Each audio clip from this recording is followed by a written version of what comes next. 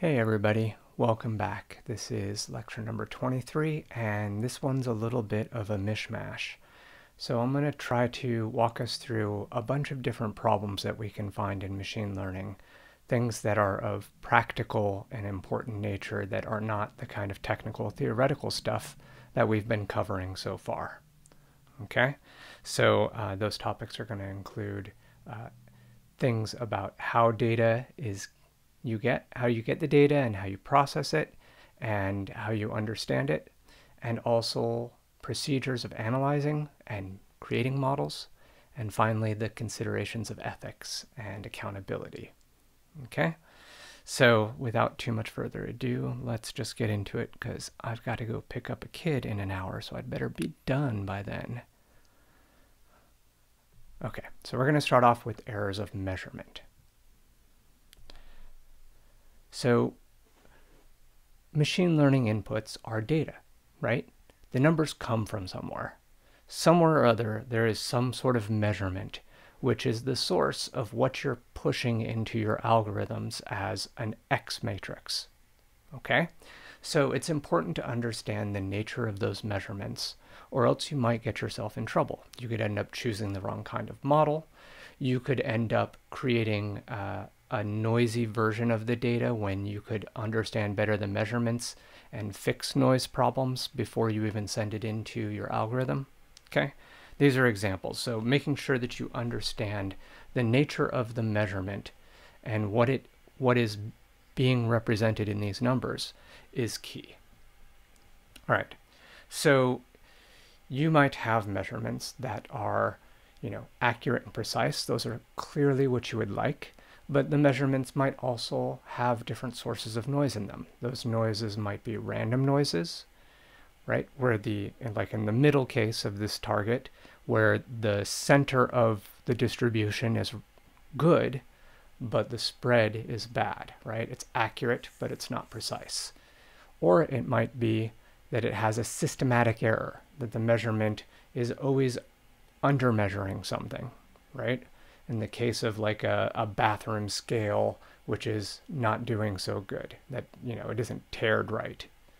Okay, it might be precise in the sense that it's repeatable. If the person gets on the scale again and again, they get roughly the same number plus or minus a small amount, but it's not accurate because the scale is off overall.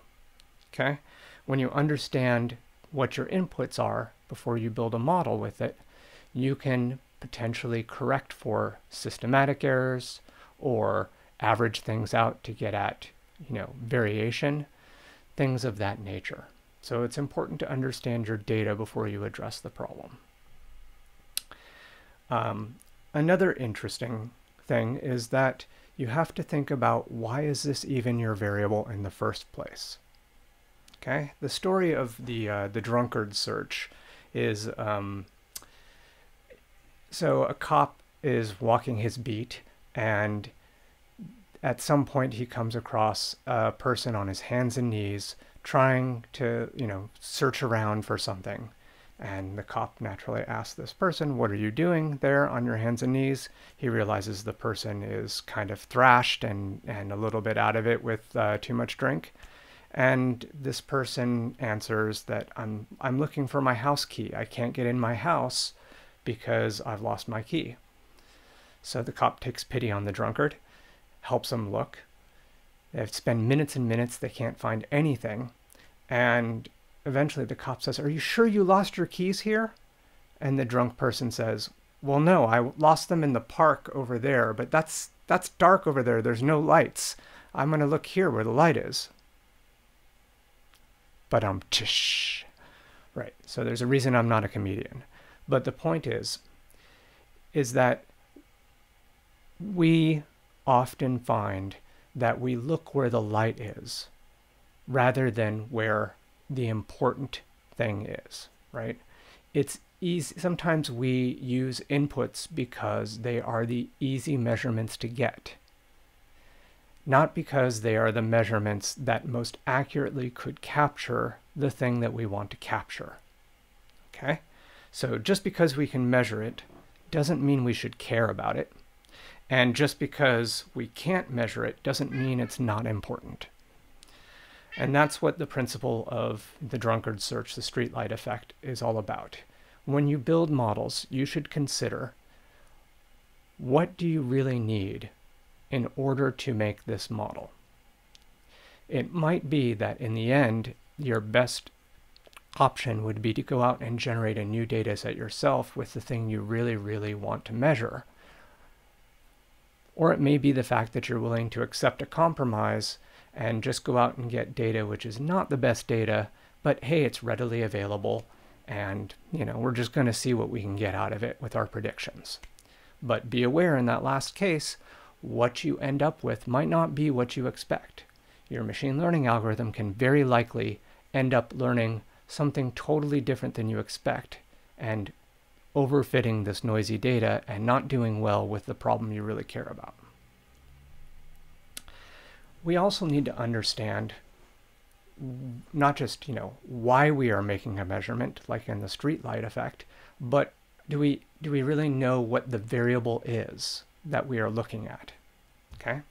This apocryphal story comes from the famous statistician Wald, who in the 40s was consulted with by the uh, American Army Air Force, right? Trying to say, hey, we have the situation. Our bombers come back with these holes in them like this, and we want to know what it means. What what we're assuming is is that, you know, the military believed that they should put the armor where those bullet holes were, because that's where the bombers are getting hit. So armoring an airplane is a terrible idea because airplanes don't, you know, like they want to be light in order to work well. So putting heavy armor plating on them is you want to do it as little as possible. So when they consulted with Wald, he realized that in fact they had it 180 degrees wrong. Really, what you're seeing here is something called survivorship bias. Okay? So the airplanes that were coming home with bullet holes in them were the ones that were coming home. The ones that were not coming home were the ones that were taking bullet hits in this region. Those were the ones that were crashing. So what you're seeing here is not the places you should armor, but you're actually seeing the places you don't need armor because the airplane can survive the hit. And these are the ones that you need to armor. Okay, so moral of the story is make sure you understand what your measurement is. You might be surprised uh, and be structuring your algorithm and learning setup wrong. Um, as we mentioned with the drunkard search, you might not be measuring what's really relevant. To give you an example that maybe hits close to home, if you look in, you know, the college rankings from U.S. News and World Report, uh, you see here that it looks like San Diego's, UC San Diego's average class size is maybe just a smidgen over 20 students. So I wish I could sit here and ask you all in live session how big you think the average class size is at UCSD given your experience. I bet if you think back about the classes that you've been in, you might say a number that was a lot closer to 100 as the average class size. Why do I think that, right? Are these are these college, you know, admissions reports lying? Are they just making data up? No, what they're reporting is a number you don't care about reporting the average class size does not indicate the average experience of a student. That's the number you actually care about as somebody who's getting ready to join a college. As a student, what average class sizes will I see, not what is the average size of a class at the whole university. What do I mean here? Well, if you get the data from uh, this random website, college data, you can see the binning um, here, like what percent of classes are really, really tiny, what percent of classes are quite large, like ours. Okay? So when you look through that and you do the cumulative sum of, you know, the percentile of the class size, you see, yes, indeed, it's kind of in like that just over 20 that we hit the median value, which is the median class size of the whole university. but you need to transform that into the median class size seen by a student because most students are not in the small classes. There are few classes. So, so in, a, in a class of you know 10 students, there's not that many. In a class of 100 students, there's a lot. So from the student's point of view, from the point of view of a butt in a seat and looking around at all the other people in that room, at least during normal non-COVID times, right? What you're seeing is that most students are in the big classes. So when you renormalize that, the median student is in a 100 person class. Okay, so we weren't measuring what we cared about there. People were just naively assuming the measurement.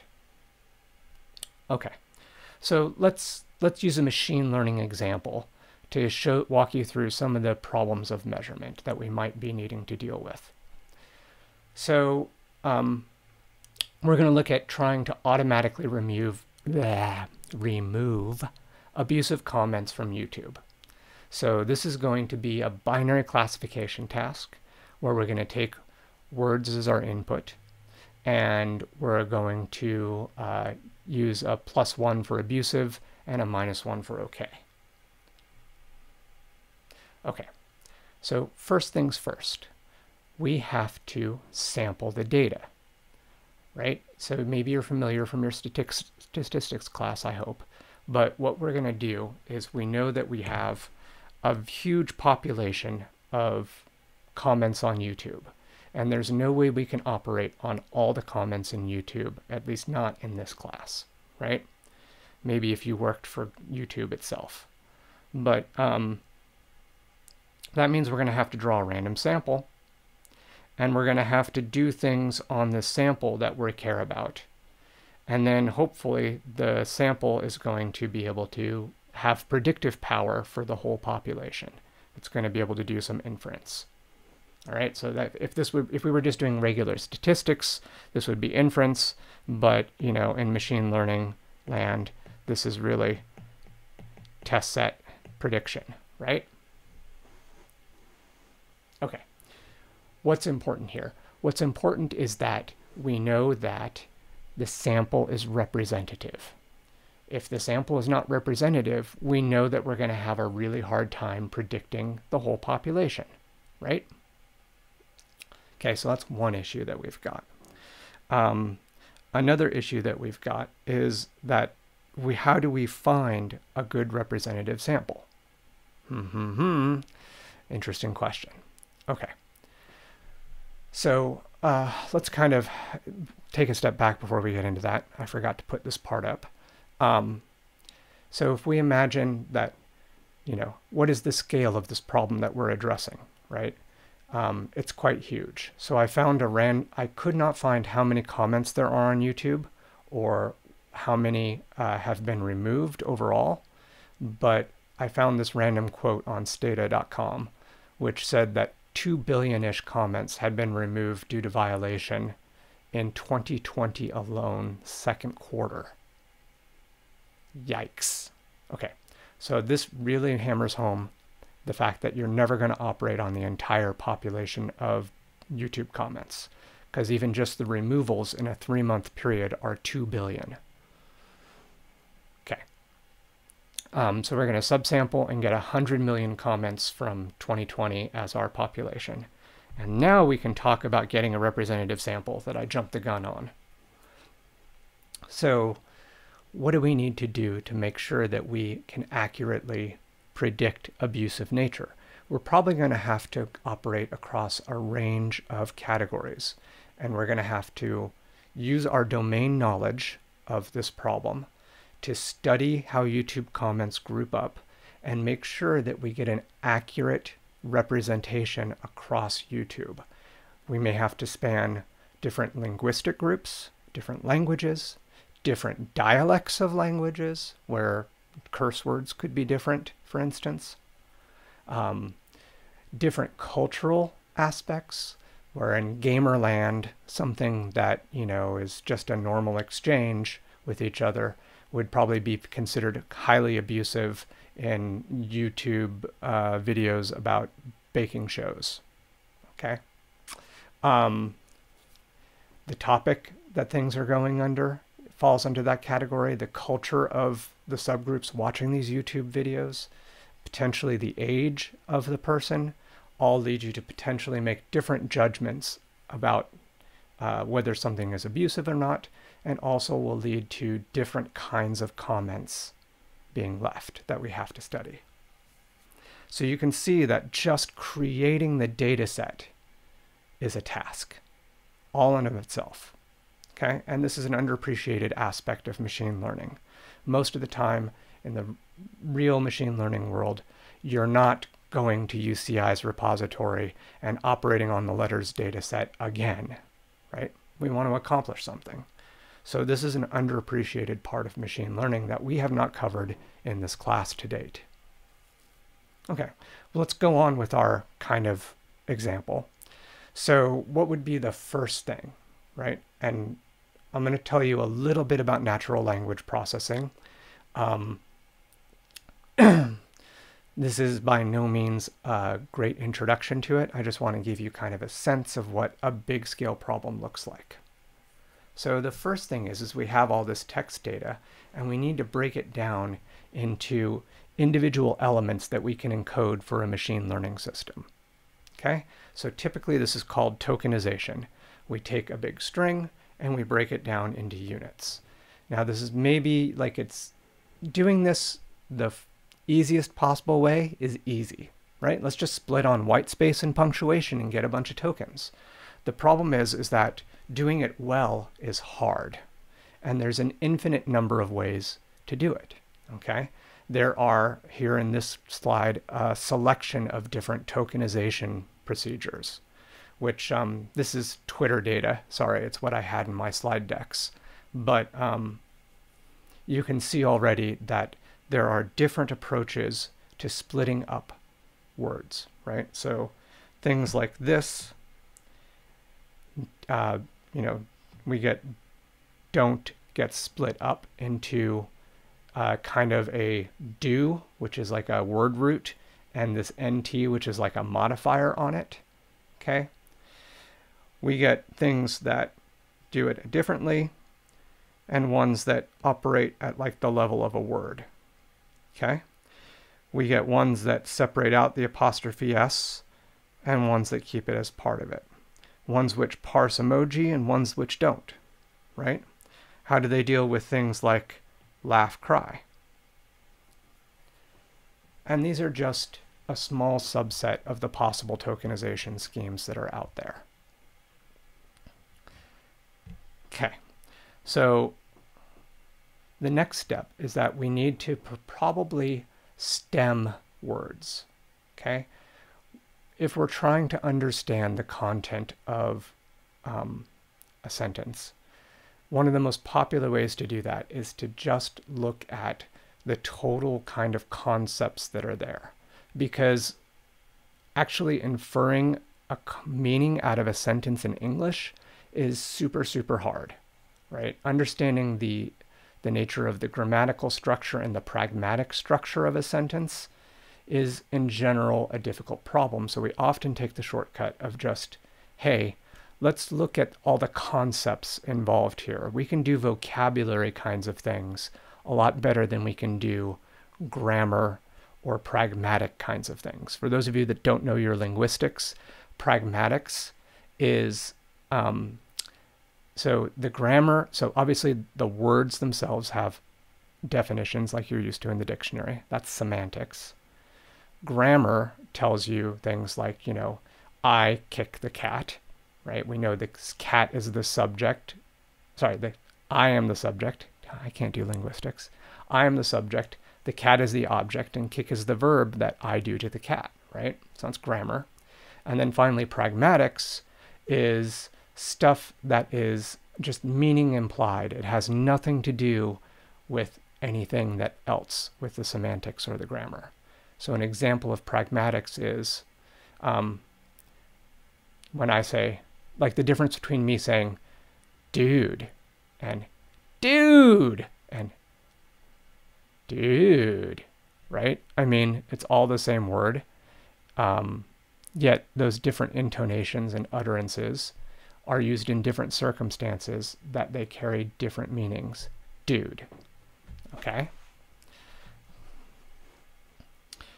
Right, whatever. So the point is you want to get rid of that stuff. You want to get rid of grammar and, you know, all that and the pragmatics because they're hard to deal with.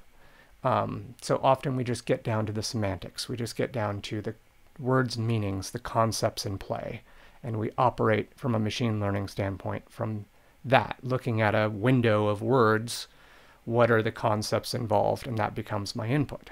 Well, how does that happen? First, we stem off things. We take playing and played, and we bring it down to its root form, right? We get rid of potentially irregular forms like are and is to be, and mul multiples, plurals, and stuff like that. And we turn the boys' cars are different colors into the boy car be differ color. And that encodes the meaning potentially, at least in an you know, in an easy to accomplish way programmatically, but in a way which absolutely will miss out on linguistic nuance. Okay. And so finally we take those stemmed tokens, those bits and bobs that we have, and we put them into a vector. And oftentimes the nature of the vector is a one-hot encoding where for every single uh, token that's in my vocabulary list, so for this, this entire problem that we've got, we find all the unique tokens in it. So maybe we're looking at a million, maybe we're looking at a hundred thousand unique words or tokens really, because sometimes tokens are not words. Okay.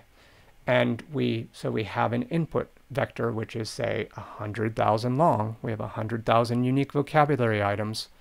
And what we do is we, we want to encode a sentence for the machine learning algorithm. The elephant sneezed at the side of potatoes. We have to put ones everywhere that we have a vocabulary element, like elephant and of and potato. Note that potato is stemmed, right? We don't take potatoes, we just have potato all right? So on and so forth. And so we could do these other sentences with, you know, wondering she opened the door to the studio. Once again, wondering gets stemmed and we would put a one at this point, right? And we would put a she one here and so on. And we would have zeros at places like elephant to encode that other sentence. Okay. Finally, it's worth mentioning. So we could do all that and we get our inputs but we probably still need training labels, right? There are ways in which we would prefer to take, in this class, certainly a supervised learning approach. So what, are we going to have human beings sit around and tag 100 million YouTube comments, right? I mean, that's probably what YouTube did in the beginning. Um, but at a certain point, you may want to uh, bootstrap the process you may wish to come up with an automated system that takes what you already know, takes some labeled training data, and can pull in new data and use another kind of learning system or maybe a fixed programmed system, right, which are going to generate more labeled data in an automatic fashion because, oh my gosh, is this a big problem, right? So a standard NLP task is something called sentiment analysis, where you can try to programmatically infer emotional content by looking at each one of those little words in my word vector, right? What's the what's the statistically like statistical likelihood of that word being an emotional word and what emotion would it capture? So this depends upon some sort of lexicon. And there exist, you know, these lexicons, which are just another word for a dictionary, right? There exist these sentiment lexicons that are out there that other people have made for a variety of uses. And it's going to, you know, have a lookup table like this, where abandon is encoding the sentiment of sadness. It's encoding just a general negative emotion or a fear. And what you can do is you can roll through all the words and you can tally up the sentiment counts for all the words in there. And then you can come up with a score for a given comment, and maybe that comment, that YouTube comment, therefore is going to go above a threshold where we say this is highly charged anger words. There's loads of anger words in here.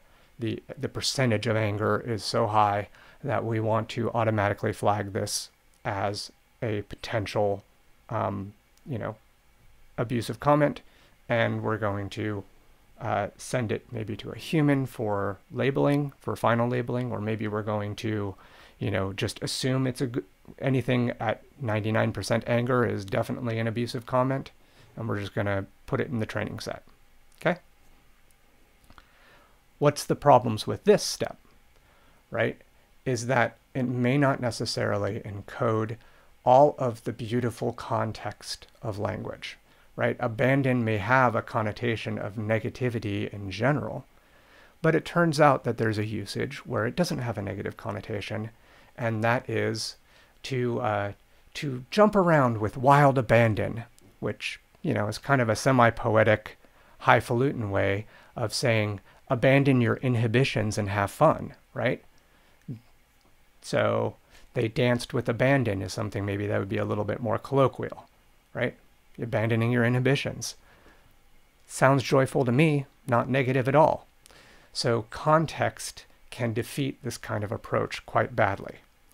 And clearly, you know, the problem that I laid out is super complex and it's got all these moving parts. And what I did just now was to walk you through a very fast set of ideas, which I don't want you to necessarily retain. Right? This is not about natural language processing YouTube comments. This whole section is just about what kinds of crap can you run into when you're trying to actually do a machine learning project realizing that overall the air the whole nature of measurements right is a hard thing at to uh, deal with you know your your systems might be quite noisy your systems might have proxy measurements things like you know we're trying to get at the meaning of words but we're stuck with a bunch of algorithms to try to infer the meaning of words which don't really capture it because language is a flexible and difficult con context driven thing, right? So we need to know that things we're measuring are what we really mean to be measuring and maybe think more deeply about whether the measurements that we're putting into our system are the ones we really want. Okay, so at this point, I'm going to stop here and uh, you know we're going to do the little short sessions again and I will see you again in just a few minutes for part two.